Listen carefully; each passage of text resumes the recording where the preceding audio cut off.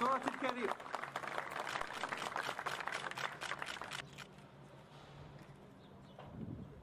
أتوجه بصفة بصفة خاصة إلى الفائزين في هذه المنافسة لأشيد بما بذلوه من جهد كبير وما أظهروه من قدرات بدنية عالية. مهنئا إياهم على هذا النجاح الباهر بتصدرهم للمراتب الأولى. والتتويج بالجوائز في هذه المنافسة كما أتوجه إلى جميع المشاركين